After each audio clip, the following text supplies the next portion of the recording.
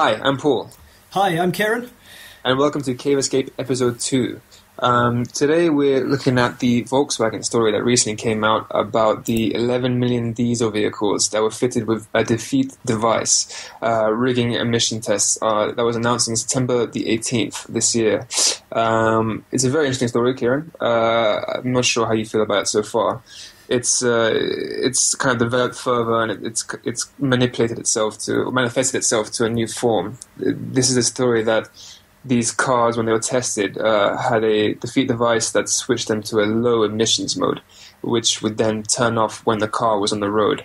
Uh, this this meant that when the cars left the shop, left the garage, or left the regulator's test, they were actually doing 40 times the permitted level of NOx, nitrogen oxide uh, gas, into the air. They're letting off 40 times the permitted level.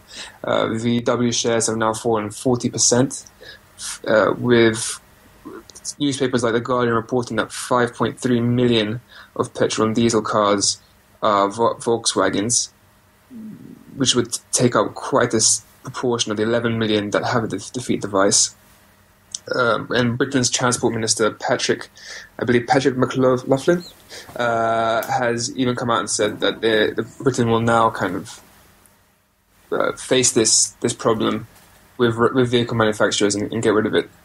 It's a brilliant story. Uh, I, th- I, think kind of kind of reaches through various levels in history, uh, regulation, and corporations, and it touches many subjects. It's very current. It's it's quite a shock as well. It's, it's been really it's really gripping. I'm not actually sure it's been getting as much uh, kind of coverage as it should do. One of the key facts that I found out about the other day or other week, casually in my own time, was that actually in London, 9,500 people die each year uh, due to uh, nitrogen oxide. So it, it's very it's wow, very I, important. I did not yeah. know that. I did not know. That. That's crazy. Yeah, it's a Guardian statistic. We've also now come out with the Samsung TV problem, which is that Samsung TVs also are possibly non-energy efficient, and there seems to be a chain reaction of events coming out that show us corporations, specifically in terms of environmental control, uh, are deceiving the public, which is fascinating. It's also quite scary. Uh, I don't know how you feel about Ciaran.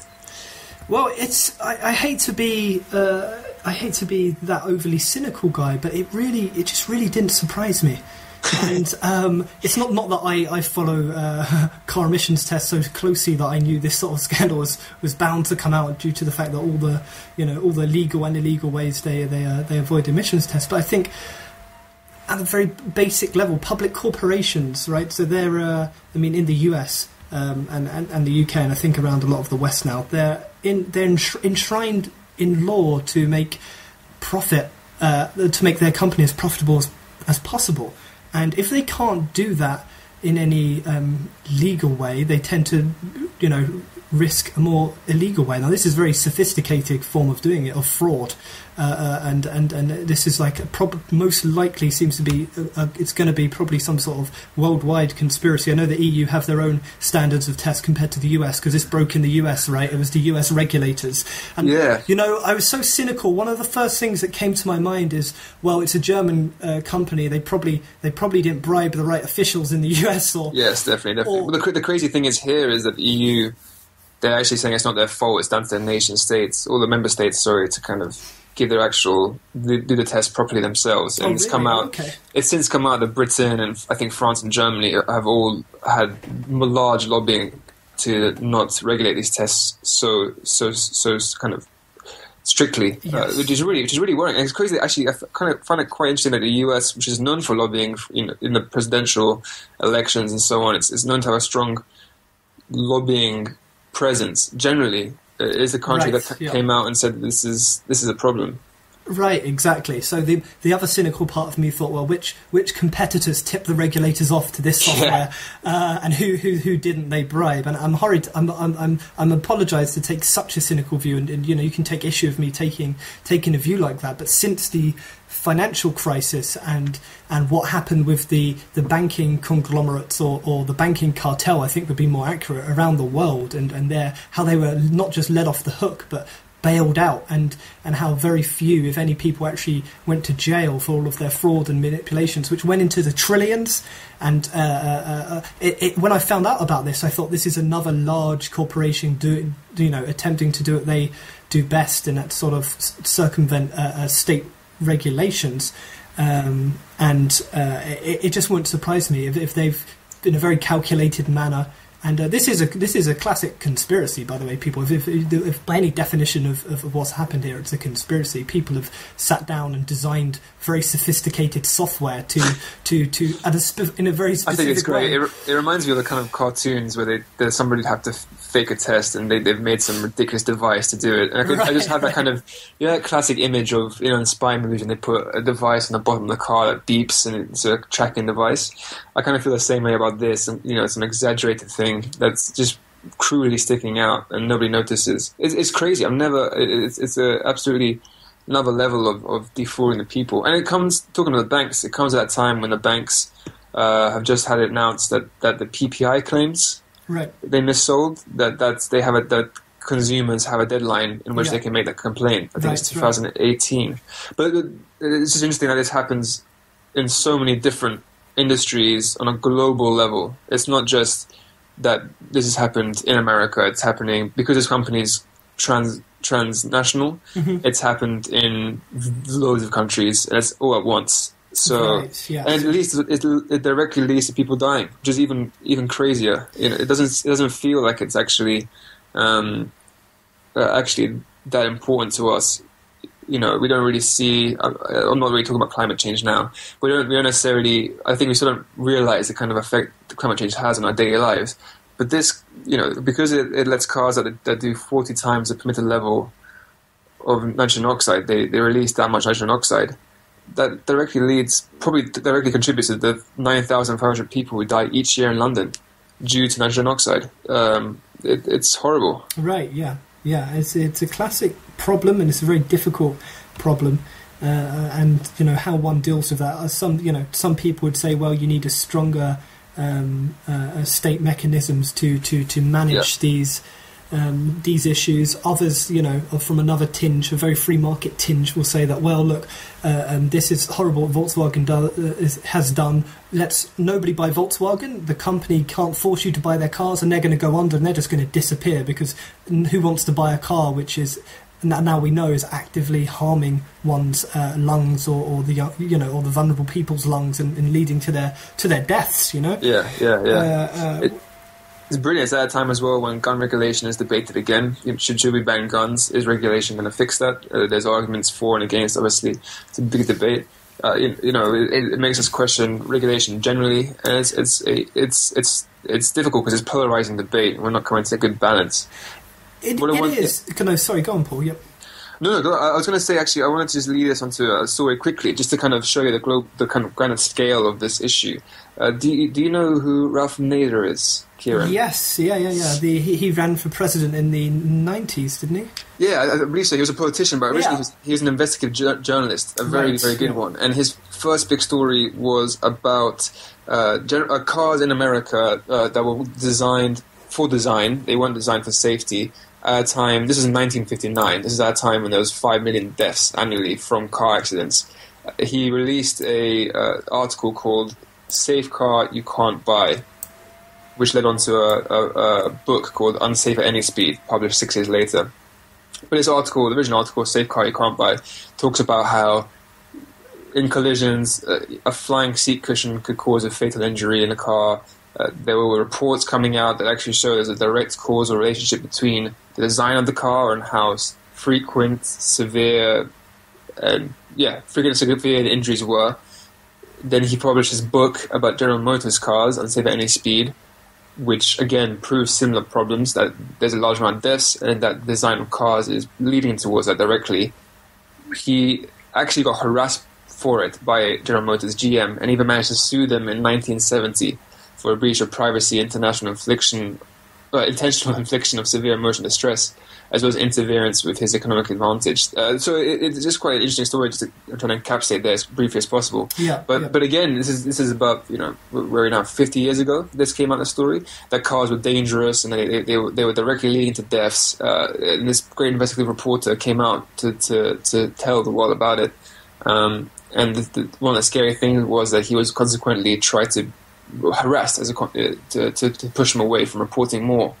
Uh, it, kind of it makes you worry about the the, the power of these companies um, and and the effect they have. You know, they're hiding from us, but they also quite actively dissuade any sort of publication uh, that kind of proves them to be what they are. Well, the good thing is, is that in this case, in the recent case, I guess, Volkswagen have come out and admitted their mistakes, and they are trying to fix it. So th- th- there's interesting parallels. I don't know what you think, Ciaran. I don't know. Yeah, you- it's true. Well, no, I mean, it's it's if they can't bribe you to, to shut up or stop doing your work, they're gonna they're gonna figure out even more sinister ways of, of doing so. Uh, Yeah. and again, I know it's a very cynical approach, but it, rem- it reminds me of the cigarette uh, the, the the cigarette companies and the tobacco companies um, and the medical studies and the falsifications and the fact that smoking, you know, is good for you, and the, the, the amount of money they poured into the, the propaganda of trying to uh, um, dissuade people to believe that either smoking wasn't bad for you, it wasn't linked to cancer. But of course, you know, this is all. I mean, the, the science just kept showing. Uh, you know, when more reputable studies came out again and again, but they've just poured so much money into. Uh, into the counter side to try and save their profit margins, and it really uh, it really shows that sort of quite unhuman um, side of, of what you can call modern capitalism. Um, Yeah, it's interesting. They, they, they, they blind themselves to the, their own the, the human factors of what they do. They, they, the situation, Volkswagen or General Motors before them, they were thinking about selling as much as quickly as possible, as opposed to the safety of people. And I, I don't think that's true capitalism. I think capitalism should care about the customer. It should it should try to protect the customer as a consequence and think about their their problems, their their, their point of view first. That's how I was always right. taught. But this is this is this is kind of some people argue corporatism, where it's come to a point that they're so powerful that they they push their own way, regardless of, of the effect on the general population. It's just, but it's bad business. Volkswagen have now lost, you know, the, their shares have gone down forty percent. It's not, I it's see not, what you mean. Yes, yeah, yeah. it's not, it's not a smart way of dealing. You know, to Right, forget the you're right. customer. Yeah, I mean, part of this might might come from from a more a slightly more free market interpretation. Uh, the fact that public corporations, uh, a lot of their a lot of the value of the companies based on share pri- prices is, I think, a lot of it's valued on quarterly profits. So it's how how much you can do in the next three to four months, basically, before the the, the quarterly profit um, uh, m- m- margin is released, and whether that's up or down is going to directly affect the value of the company and the shareholders who own the company, and it creates this immense pressure to make short-term profits at the expense of long-term stabi- um, you know, stability or long-term uh, uh, gain. Uh, Yeah. there's definitely. I'm, sh- I'm sure there's definitely pressures there, and that's a really horrible way of doing business. And I think in certain other cultures, I think still in places like Japan, there um, where there's more family orientation behind most of the corporations still. Um, even though they have they have their own problems, of course, there with nepotism and cronyism, but but but they have a, a I think they they still to a certain extent have they take long term planning into account, and they're not. It's not all about what's happening in the next three to four months and whether we can make X amount of profit, so our share value is going to go up, and and the CEO and all the shareholders are going to pat you on the back and maybe give you a nice bonus uh, for some of these executives. So it's the it's that real pressure of well, you know, short term games and, and, and, and what we can do about that. I mean, Definitely, definitely. Look at the the hacking scandal with with the Sun and News of the World. That was, if you've ever, ever read Nick Davies's book, Hack Attack. Uh, I'm, I'm not sure if you have, Ciaran. I haven't actually. No, no. I've been meaning to lend that to you actually. Anyway, it's a very good book. Uh, it's a bit simplistic in how it's written in terms of it almost polarizes the issue to kind of the Guardian versus everybody else, but it's it's still really amazing journalism. And in the book, he he, dis- he through knowledge he's acquired through interviews and, and, and knowledge he's acquired through transcripts and so on, he tells you how it is in the office of News of the World, you know, how, what the environment was that led to the hacking scandal. And it's awful. It's a kind of bullying atmosphere where they put pressure on you to get the best story, and if you can't get the best story, then, then you're fired or you're bullied. Like more. Uh, so people don't want to get bullied more, they don't want to get fired, so they, they go to greater lengths to get a better story. You know, and eventually they get to a point where they hear there's an investigator who can hack people's phones and get stories from people who are very famous. So they use that, and then that spreads. It's like a cancer. It becomes more and more kind of poisonous to the atmosphere, and everybody's doing it, you know, and it's Yeah, how no, it's- it's how it starts. That pressure Yeah. to get clear results quickly, Yeah. and it's awful. And it, it promotes a horrible form of sensationalism as well, along with that, Yes, because you have to grab the public's attention to sell Yes. more, etc. And I mean, my um, my auntie told me the other day. Actually, I mean, I didn't know, but I think her um, her husband's um, brother, uh, he's an independent journalist and writer, and sometimes he'll get an article.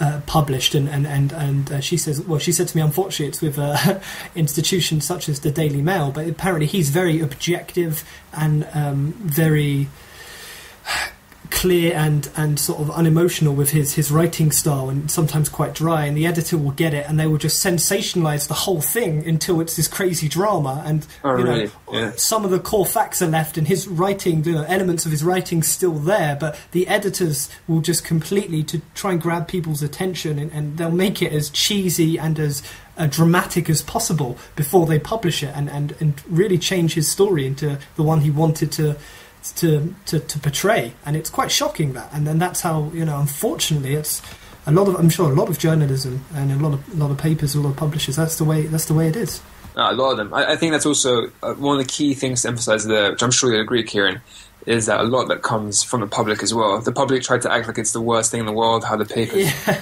but they're the ones buying it. The Yeah, Sun, exactly, the Sun, yeah. the Sun are awful in how they report, but they're also, if they're not the most sold paper in the UK, it might be them or Daily Mail. They're one at the top. Yeah. Daily Mail, uh, again, the same same problem. Yeah. The People that people want to hear that they want to, they, you know, but at a time when when journalism is is I think a lot poorer quality than it used to be, and when there's not much money in the press, printed press, because of the internet, essentially, people have a choice between buying the free sensationalist stuff, like the Sun, like Daily Mail, and the Guardian. The Guardian becomes quite tabloidy at times. Uh, they, they'll take that because it's free and that's what they want to hear, as opposed to reading something like the FT, maybe now, which is paid for, the International New York Times, which I think is also behind a paywall. Uh, that might not be true, actually, but but they, no, they, I think it is behind a paywall you're right Yes. yeah, yeah. but they, they, they have they have kept their quality, but people don't want to pay for it. So they want to they they're, they're accepting what's worse and free because it's free. So you, you got to turn around and say to yourself, would you rather read something that's paid for through commercials and advertisement, and which have to share a dilution of quality because it has to appeal to a wider mass pe- mass audience, or do you want to take something that's more concentrated and you pay for yourself and you ensure its quality the quality's there? You know, uh, they they wouldn't do this without if the audience didn't want it. Um, it's, just, it's just a sad situation where we kind of absorb ourselves and blame and, and blame them. It's the same with politicians. We say that what they do is wrong and so on, but uh, I'm Still not sure. yeah, or I'm not sure how selfless we would be in some situations. right right no Including yeah. myself. I'm not saying I'm, I'm I'm not devoid of criticism, but you know, we say the refugee crisis now. Um, you know, would you turn around tomorrow and let let, let, let a refugee stay in, stay in your house? You'd probably be a bit bit worried uh, because of your own selfish reasons, and yet. Uh, even though I say that, and I've worked with refugees and asylum seekers, I'll criticize the government for their policy, but I'm not sure how selfless I truly am, you know, and, and then we're kind of being hypocritical in some, some ways. Right, no, it's it's true. It's very true. I mean, even when it comes to uh, again, I'd, I'd bring in my own my own personal side of it as well. I mean, uh, studying, for example, conflict uh, and, and and from all levels. I mean, it's I I can say I hate conflict and it, it, it despises me all the war and death, but it's also something extraordinarily exciting and dramatic and that if the world was out was without it, I'd be probably rather bored because it's something I I focus a lot of my studies on and my Yeah. research, and it's a weird sick relationship where yeah. I can I, exactly where I can criticize it and, and try and say I, I'd, I'd like to figure out ways and help figure out ways to, to, to help resolve some of these issues and, and, and you know advance ethics to to a better point. But at the same time, I'm thinking, well, the what you know the I wouldn't be able to do what I'm doing without that sort of conflict. And I mean, I have a quite a clear memory in my head as well about this a, a really horrible and, and, and adrenaline rush I got um, when when Russia invaded uh, um, um, went into Crimea. Oh, and, that, uh, and when the was- Ukraine said they're going to declare they're mobilising all their military forces, and I thought, oh my god, this is probably the closest the world's going to be to, to World War uh, Three in, in, in quite a while. Uh, and I must admit, I got the adrenaline rush, and it wasn't like a it wasn't one of terror. It was actually one of excitement. And I thought, what the, hell am I? Why am I feeling like this? Because it's not a video game. I'm not playing Call of Duty or bloody Yeah, yeah. Sid, Sid Meier's Civilization, where you know, I mean, this is real people with real lives, and you know, the more I thought about that, I thought, holy crap, this is this is actually quite scary, and I should be more. wor-" But but why did I have that feeling? Is it because I watched the news a lot, and you get these things, and the more dramatic it is, and the more exciting you know the world becomes? It's quite horrible, and I mean, I fall into that trap as well. I honestly do. I can criticise papers like the Daily Mail for being sensational, but when sensational events such as uh, uh, well, um, Russia going into Crimea happen, uh, uh, you know, I'm the one who gets excited about it. Yeah, or, of course, yeah. Uh, you know, it's, it's, it's difficult. Yeah, again, back to refugees. A, lot of the time, the recept- people argue, refugee historians, refugee historians argue that there is a difference in reaction between episodes that happen within Europe and the reaction that Europeans give it, and episodes that happen outside of Europe and the reaction that Europeans give it. So, if there's a refugee crisis and it's not very well covered somewhere in Africa, it's probably going to be much less well received and much less understood by the Europeans than, say, refugee crisis in the Balkans, which happened. You know, when the Mm. Kosovars and the Bosnians came, it was nearby, so it had a much stronger reaction than anywhere, anywhere else. Um, and it's it deserved a reaction. But there were really bad things happening, and the refugees needed to find asylum. It was a really awful situ- situation. Um, but I think sometimes we, as a Western audience, can only associate with what we know. So if we see white people getting hurt or whatever, getting getting getting attacked, it pulls our heartstrings much more than when it happens in Africa, for instance. Uh, and we kind of disassociate ourselves with what happens there because we don't understand it. When it's close by to us, we start to think, "Oh wow, the, I was on holiday there last year. I was in you know Croatia on holiday, and the people I was friends with are now getting attacked." You know, it feels much more personal, um, and we definitely try to kind of disassociate and not truly comprehend the, the totality of the situation frequently. So when something happens in Crimea, it's a bit more exciting because it's actually close to us, maybe. Well, I, I, well, I don't know. Yeah, it's a bit No, more. no, I, I would agree. You're right. I mean, there's definitely those cultural biases, and Yeah. I mean, it can get to really extreme points. I mean, especially if if states are involved and looking at it from a foreign policy view, you know, they they can essentially see peoples as unhuman. They don't even recognise them as this is humans that we have to have to worry about and deal with and try our best to to help. It, it's just you know, and, and on a very um, micro level, talking about just, just you and I and the general population, I, I, I think you're right. If something really horrible happens in, in parts of Africa or Latin America or, or parts of Asia, um, because they're still considered other, um, compared Yes. compared to an atrocity or an event happening in in, in Europe or, or America, for example, North America, uh, and it's really it's really sad why you know why that is, and um, part of it must I think part of it must have to be with cultural and psychological biases about like you said you've been on holiday you might have friends and family there you can relate because they're similar they have similar values similar Similar looks, even. similar looks you're right similar looks White Europeans. yeah, yes But it's true. Look at, look at the refugees now, the Syrians. The Lebanon itself is one one tenth of Lebanon's population is refugees. This has been happening for a while in that area, the Middle East. They they are really they are actually not swamped, but they really actually do have a large amount of refugees. So I know where now we have a large amount on our borders. But we didn't pay attention to the refugee crisis until it actually came to the EU, the EU borders, mm. Calais. That's the only time we start to actually, as a, as a people and as a government, to actually start to take notice of the the the, the, the, kind of awful situation that we're in now. But it's only because it does affect us, which is which is sad, but it's also understandable, unfortunately, as well. It's a bit of it's a bit of both. I find, don't you? I, I don't know. Yeah, yeah. It, it, you're right. It's difficult to to to sort of self be self-reflective and, and, and you have to you I mean you ha- it's something you have to constantly do you can't just say you are and, and pretend I mean you know it's, Yeah. it's going back to points of, of empathy but if you do sit down and think about what if I was in their position if I was born there and this happened to Yes. me then you do generally feel sorry for them but it's too it's so easy to slip into you know uh, I and other, and they are other, and, and I can't I can't sympathise with them or empathise with them in the situation that much. Like you said, it's they're physically physically so far away. I if they were obviously outside my house, I'd like to think I'd help people who are in need. But these people are so they're you know most of them are hundreds of miles away, and and you know oh what can I do? Always seems to be the attitude, and sometimes it, it, it is like that. I mean, well, okay, maybe I can give some donate some money and some clothes and some food. Uh, but it, it's easy to forget about it because it's not di- it's not directly impacting on, on your life. Exactly, exactly. Should we pop on to the next subject, Ciaran? What do you think? Yeah, that's up to you. I mean, uh, how long's it been? I mean, we can we can call it a day, or we can pop, we can save the, the article for next time. How? What do you think? I mean, should we give it a quick quick go? The nuclear tech. I think I think yeah, sure. Okay. What do you I think? mean, yeah. All right. I mean, I, I have to apologise because I uh, for, for, for the, the few people who may be listening. I uh, I had a really a busier week than I thought because my cousin from America um, came came to England uh, on holiday for a, a short Kier- stay. Ciaran's got an Irish ancestry, so he has a lot of cousins. I do. I've got all exactly. over the world. There's uh, it's that Catholic. You're not allowed. It's that Catholic um, um, descendants where you, uh, uh, the culture is. Oh, sorry. The in Catholicism, if any of you don't know, you can't use contraception if you're a good Catholic. So a lot of babies get born, basically. that's, that's, a nice polite way of saying it, Ciaran. I It's- was going to be much more vulgar. It's, Yeah. it's a polite way of saying it, but um, and uh, as you know, uh, the Irish descendants are there's more Irish descendancy just in America alone than there are people in Ireland apparently. And Really? Yeah, but but That's fascinating. I was thinking the other day, you know, why is it Ireland specifically that's like that? Wales was also a poor country. Scotland, I'm sure, was Uh, in poverty. Uh, Ireland has got a lot of immigrants. a lot of in it was to, to do with the, the, famine in the eight, Yeah. 1800s, and Britain was essentially to to blame uh, um, for some of the.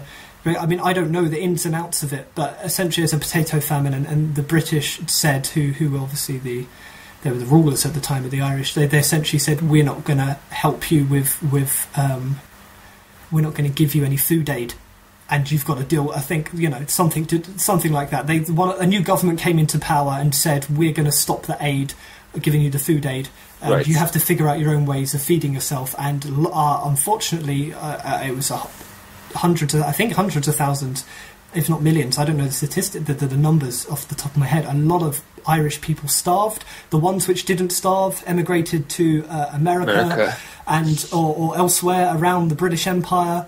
And uh, uh, that's why so many people. I think it, it drained the population of Ireland. I think fell almost almost by fifty percent in in a sh- in a couple of decades because of this or less. I, I, again, I'm sorry. I apologise if the statistics aren't completely accurate, but roughly this is what happened, uh, and this is why. And I, I don't blame them. I'd, I mean, if I was in Ireland at the time and there was no food, I'd get the hell out of there and I'd find someone. I get out of my house and there's no food. Well, yeah, quite. I mean, so, Yeah. yeah, it's something to do with potato blight, some disease, and obviously they couldn't counter it at the time. And I don't know what. Maybe it's due to do with weather conditions. And anyway, As a consequence, you have a cousin in New York, which I is have a. Well, a, a really nice way to end, end a sad story. you know what Yeah. though? I think. Sorry, I think that it's only slightly related to that because my, Ah. my relatives in in New York, even though I'm sure I do have some relatives uh, in America for, for that reason as well. Yeah. um, uh, it was my my grandmother's sister who was English, and during the war, so that would be my great, like my great auntie. Uh, during the war, uh, she uh, she met an American soldier, American GI, as they say, and they got married, and she um, she she left with him for, for America. Wow, so nice. yeah, so he was stationed in, in Britain, and I think he was involved in some way with the the, the invasion of, of, of well not invasion the defense you could say of Europe against Nazi Germany. And after Yes. the war she went there. So that that's that's how those relatives are, are actually based in New York. But anyway um so I, the point is I had a very busy week and I didn't prepare as much as Paul has so I can only apologise but what I was going to do was quote from um, a source which I don't I often try to avoid and that is Wikipedia and only Yeah. because I, I've used Wikipedia and I know the culture behind it and the, there's some of the biases behind Wikipedia, and that's maybe one podcast we can talk about that just alone because it's quite extraordinary what happens when you start editing or attempting to edit things with even with legitimate and reliable Oh, really? resources. Yeah, yeah, I can I can talk about that a little bit uh, on, on Wikipedia. I'm sure you can, yeah. But anyway, I've checked. I've checked, and most of the sources seem legitimate for this. But the main the main article comes from a Guardian article published a few years ago, and this is the story. I mean, the, the title of the article is. I'm going to butcher the names now, and it's even worse because I have a Russian girlfriend who's probably going to uh, uh, uh, uh, give me a bit of a uh, an earful for for butchering the Russian names, but it's uh, thank you, Vasily Arkhipov, the man who stopped nuclear war. And uh, this is the story of a um, the story of a Soviet Navy officer who who may have saved the world. Which sounds it sounds ludicrous to say that, like a Superman uh, sort Yeah. of um, uh, uh, a mythological uh, super Superman tale that one It is- this is a individual nice could chat. stop this.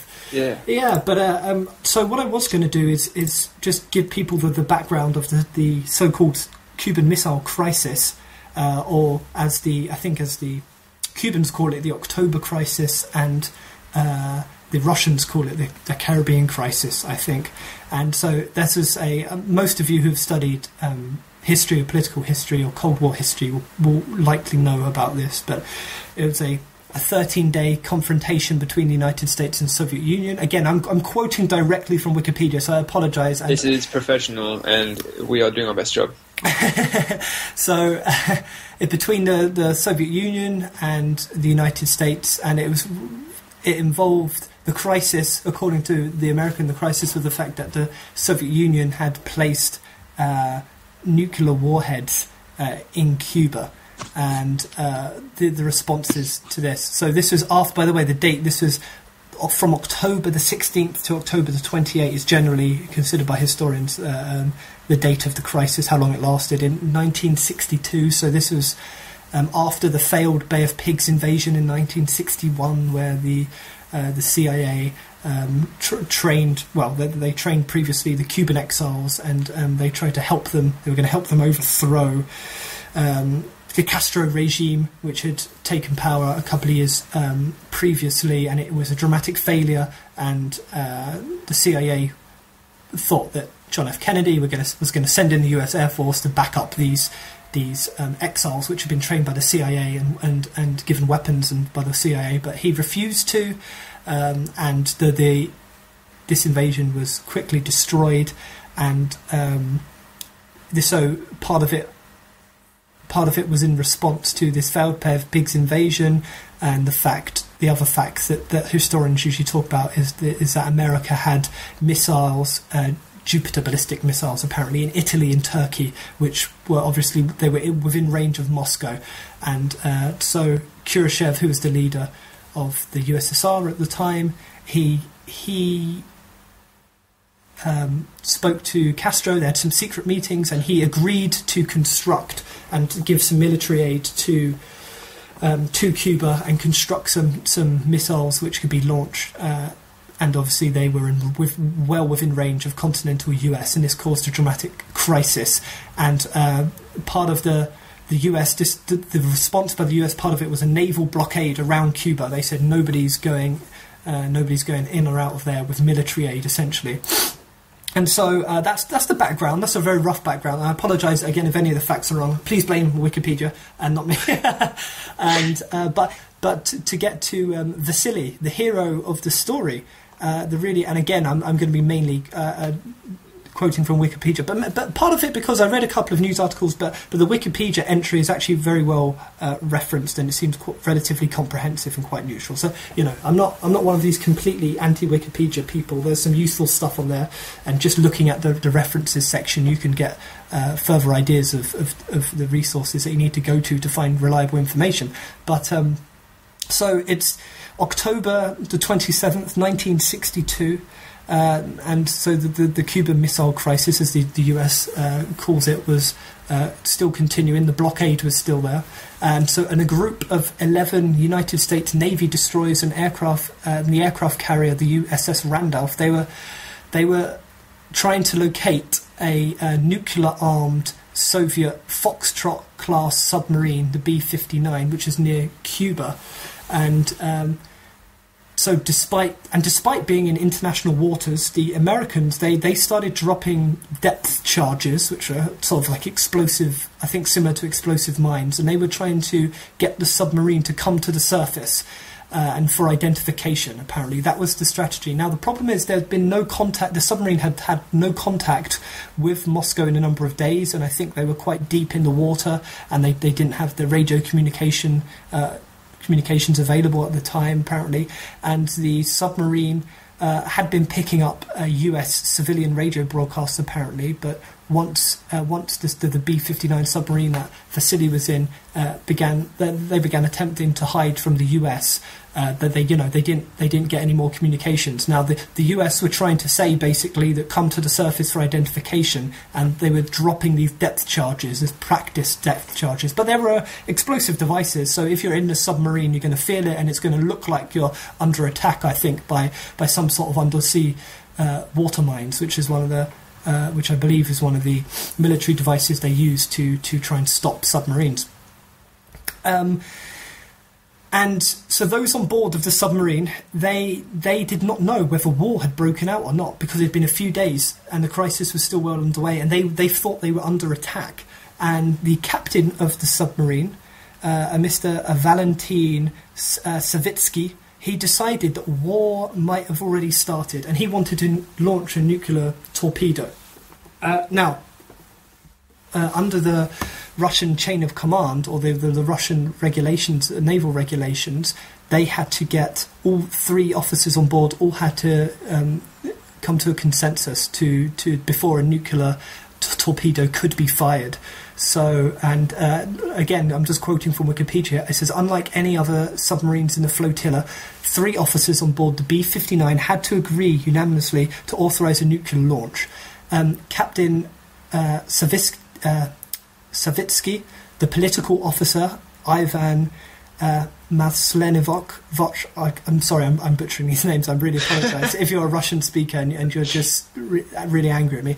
Uh, you did a good job. Keep and the second in command, which was um, uh, Arkhipov, who is the hero of the story, and uh, so it says typically Russian submarines armed with what they called the special weapon, this nuclear warhead or nuclear torpedo, only required the captain to get authorization uh, from the political officer to launch the torpedo. However, um, position uh, uh, as the flotilla commander of, of, of, a lot of these submarines in the area, um, he uh, you had to get permission from him, and apparently an argument broke out between the captain and the political officer, both of whom agreed to launch a nuclear torpedo. By the way, uh, at uh, at the U.S. naval forces, I believe they wanted to aim it at the USSS at the USS Randolph, which was the uh, aircraft carrier at the time, and of course, a nuclear torpedo, I believe, would have just completely incinerated that. And uh, uh, historians generally agree that this would have led to a larger nuclear conflict and World War III, and in turn, most likely, the destruction of humanity or the destruction of a very large proportion of of humanity. And so, um, this uh, this is the story of of of uh, this gentleman, um, Vasily, who refused, who, who disagreed with the two other officers on board and said, and vetoed the launch of this nuclear torpedo and averted nuclear warfare because, of course, uh, war hadn't broken out. And uh, to me, I think the impo- I actually only discovered. And by the way, we're coming near to the anniversary of when this occurred. This is in October 27th, so we're getting closer to it. Now, I, I only read about this case, and I'd, I'd, I'd studied uh, Cold War history in uni- at the university level and at A level, and I thought I knew a fair amount about the Cuban Missile Crisis and what happened there, and you know I knew most of the ins and outs. But of course, it wasn't as granular as as as, as what happened in every submarine, and I actually had no idea that this this did occur and that the world was. Of course, everyone, all historians know that the world was close to nuclear war, but this was as close as you can get. And I think for me, the, the thing I took away from this, from this story, was the importance of individual action when it comes to even up to even large scale uh, uh, political and historical events and movements. Because okay, you can argue from one level, um, he was a man caught in a system and a structure in which you know he was a navy officer and he had uh, he had a, a role to perform and and he'd been sent out there by, by, by other powers and, and you can talk about the greater structures but when it came down to this decision of the possibility of nuclear war world war three you have one one individual who may have completely saved the world by keeping his cool and refusing to vetoing his two other officers who he was arguing with to a, uh, uh, to you know, he vetoed he vetoed their their decision. They wanted to fire a nuclear torpedo at U.S. forces, which almost inevitably would have led to, to World War Three. And and and and it, to me, it's extraordinary that, that one individual like that, that, that, that you can have this hero character very much in, in history, and that individual action um, is still plays such a key role. And a lot of political scientists, and I think historians and other and sociologists and other social scientists, we focus so much on the structure and the systems in place and these large scale forces which shape humanity, whether it's capitalism or other ideologies and ideas, which, don't get me wrong, are extraordinarily important, and I would not deny their significance whatsoever. But at the same time, this very granular human level where a person's action, their agency, where they can just say, No, I'm not doing this, I refuse to do it, I'm not allowing you to do it, even under severe pressure. And he, he, he, he may have well saved humanity uh, uh, and it may be one reason why we're sitting here the way and the, in the way we are today talking. And I just thought it's really extraordinary to think about that and really reflect on, on how important individual decisions can be because you think it might not have a wider impact. Now, not, not all of us are going to be sitting in nuclear submarines deciding whether to fire a missile at another country or not, of course. Um, but but yeah. at the same time, I think it's worth. Um, really worth reflecting on. And uh, to me, uh, just the significance of it was, was quite mind blowing. And I just, and the finding out about this because I thought I knew. Again, the other the other minor, more minor thing to take away is I always you know never be too uh, arrogant when it comes to history because uh, I think it's a famous quote by Truman actually who says you know the the only things well the only thing that's really new is is the history that you don't know. I mean you you find out so much like this and it really sort of made me think about about the world. And anyway, I'm going to stop talking now and I'm going to I'll let Paul uh, give give his opinion about it. But but that's why I picked the article. I thought it was fascinating. No, it's brilliant. I, I, think I think it's such a true point to make that we, we look at the macro elements of history so so often because it's the most efficient and the easiest, but we really forget the, the minor parts, the, the, the micro parts where these human stories come out. And uh, what I what I, what I find is for me fascinating about it is that it's actually so logical that events like this happen. We I think it's quite illogical for us to think that there's a great structure that that that, that works properly and is inhuman in being kind of removed from from emotion and and quick impulsive reactions. Actually, we are humans. We, we put ourselves in power, powerful positions, and the consequence can be that people make mistakes where they would fire back in this person's situation. Uh, they they would fire back and they would they would you know make the mistake of thinking they are in the war. Uh, they would they would react wrongly. It's kind of the opposite of what I was saying earlier with politicians who look at, or anybody who looks at global corporations who look at the, the money side and forget the, the human side of the people they work with. They look at the macro and not the micro in a weird way. Um, they don't think about the individuals who get affected by their actions. The same here. Uh, we we as a people expect that the powers above us are kind of inhuman in being calculated and reasonable in, in very heated environments. So it, it's a it's a great story. I really enjoyed it. It's it's a it, it's such a kind of uh, hawk. I say it's such a reflection of was inevitably will, will inevitably be brought up. It's a reflection of Doctor Strangelove and the atomic bomb. Yes, seen it. Yeah which is just which greatly depicts the, the, the human mistakes we make and the people we trust with with these positions. Um, well, I was saying to you earlier, Ciaran, actually, what I found interesting, I, I, researched very quickly as well a bit more about this subject, and I came upon two top two articles. One by a chap called Richard Reeves. Uh, he was writing for the NY Times.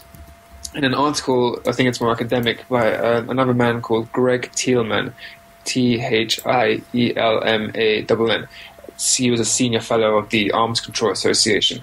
Both articles gave me, like you're saying, a different perspective, uh, new history, where they told me that actually they argued there was no missile gap. Uh, that McNamara actually came out and said this. McNamara, I think, was the, was he the vice president of the defense secretary of the U.S. at the time?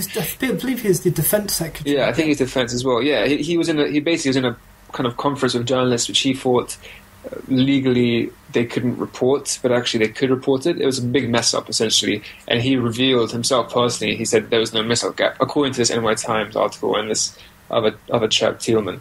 Um, so it turned out actually the CIA reporting that the Soviets didn't have many missiles at all. They had about seven, the three intercontinental ballistic missiles in the 1960 or 1961. The Americans had 108 missiles that could reach the Soviet Union. So it's a very big disparity there between, in terms of missile gap. It actually, America would dominate the Soviets in terms of how much they could, how how how dangerous and lethal their arms were. Mm. Uh, which it, it's really important still. You know, uh, the same article Thielmann talked about a national intelligence estimate.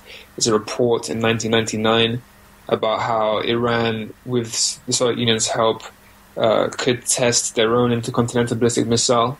Uh, this didn't happen for years afterwards. So this this, this report believed that Iran would have missiles, but didn't have missiles. But they they changed their rhetoric so that they didn't talk about what was what was what was actually happening. They're talking about what could happen. Uh, it's very relevant now because obviously Iran had their nuclear deal recently. So it, it's just it's just this revelation about what we perceive to be uh, an absolute truth that there was a missile gap, common, commonly believed, officially sanctioned report the situation was wrong, and we're still getting reports now about Iran or Syria or Iraq with its chemical weapons. Uh, it's interesting how the government's misled us in the past about the, the, the true events. With this missile gap in particular, it, it was such a significant couple of decades which revolved around this, and our whole lives were kind of lived under fear as a consequence. It's it's crazy that we were misled in such a way. No, you're right. I mean, for and a contemporary example of this sort of uh, of, of actively elements within a, a, a, government actively seeking to bias or falsify um, um, intelligence or, or, or, evidence about other states, of course, is is the second Gulf War. I mean, the invasion of Iraq and the so-called WMDs and the so-called links to 9/11, which of course uh, were completely not true. And any, I think, independent uh, analyst, any independent member of the public could just use open source intelligence at the time and, and find a lot of contradictory stuff saying, well, actually, um, you know, uh, the, the idea that, that Saddam Hussein has large stockpiles of, of weapons of mass destruction is quite ridiculous. Uh, and the fact that he may have had links to 9 11 is even more uh, and Al Qaeda's even more uh, uh, absurd. Yeah. yeah, and it, it, it's really worrying. And like you said, so-called allegedly independent intelligence um, reports and, and analysis can themselves be completely skewed and biased by just for purely political means and uh, I mean more so than just sort of propping up state, a status quo, but, but actively allowing certain, but maybe particularly right wing elements of of, of a state or, or, or, government to get their way with what they believe national security is about. I mean, and uh, you know, a lot of this comes from the so-called hawks, and uh, I've. As soon as you talk about missile gap and the fact that, that America needs to, you know, this idea America needs to have more weapons, I immediately think of the military-industrial complex. You know, this nexus between military uh, um, industrial arms corporations and and and uh, military contractors and uh, politicians and, and, generals and this sort of iron triangle of interests where everyone wants the same thing, even if that thing is destructive and and and is based on false evidence. There's too many too many winners in the elite or, or this elite faction in in many parts of society, especially uh, America. So why would you why would you stop it? So you know, politicians get their get their military bases and get their contracts for the people that they represent, so they get jobs in the districts that they represent, so they get re-elected, and the generals. Uh, they get to satisfy their view of, of, of, of, what is national security, and they maybe secure lucrative jobs once they retire. And the corporations, of course, get huge government uh, uh, some you know sums of money from the government for these contracts for new technology, and it, and it doesn't stop because there's too many people who make too much money from it and it's quite it is scary because it, it, it, it directly again directly affects the culture, the way we view the world. All of these so-called um, independent and unbiased reports that can come out, which are com- just complete nonsense, completely skewed and completely biased in every shape, uh, in in every way, and it, it, and it can lead, and it can lead, as we've seen with the invasion of Iraq in 2003, to a large-scale war, which takes the lives of hundreds of thousands uh, of people, if not if not over a million people. But we shan't get into that that debate, that that divisive, yeah. uh, controversial debate right now. But uh, it's it's it really does worry me, and yeah, it definitely highlights that. And just getting back to the um, the article uh, um, about uh, Vasily. Again, it, it highlights the madness, the real, the real crazy man. I mean, nuclear weapons in particular haven't gone away, and that threat. Uh, you might think it's completely dissipated, but with what's happened uh, over the last couple of years, um, apparent, apparently, some from some news reports, I can't quite off the top of my head, uh, uh generals in the Pentagon, their their their their plans uh, about how to deal with Russia, which have been collecting dust for the last couple of decades while they've been focusing on other issues, and they're coming off the shelves and you know, tactical nuclear war is becoming apparent, according to, in their eyes, is becoming a real issue they need to really think about again, which is quite extraordinary and quite scary um, by what they believe is this renewed Russian aggression. Uh, and it, it's worrying that another situation uh, and could occur relatively easily, you know, and it, it, could happen in our lifetimes. You think this is, you know, you, you can think about, well, this is the 60s and the, it was the height of the Cold War to a certain extent, and and uh, this is a very unique time and situation. But I think I think history can repeat itself, and and it, and it will repeat itself. And then we might not be so lucky to have a Vasily. Uh, a Vasily Arkhipov in the submarine vetoing the decision this time, and and that's that's a that's a real worry. Definitely, uh, I think it's a great way to end it as well. okay. Uh, all right. Well, so okay, we'll call it a day. Thank you, uh, thank you everyone for listening. Uh, those listeners who are there. And uh, thank you, Paul. We had a really uh, good conversation, I feel. Great. I thought it was a very interesting debate, uh, not debate, but discussion in general. Uh, and I thank everyone who listened as well. And hopefully hear from you guys soon. Yeah. Bye for now. Well, sorry, you can hear from us soon. Yeah, we'll hear from us. okay, thanks everyone. Bye for now.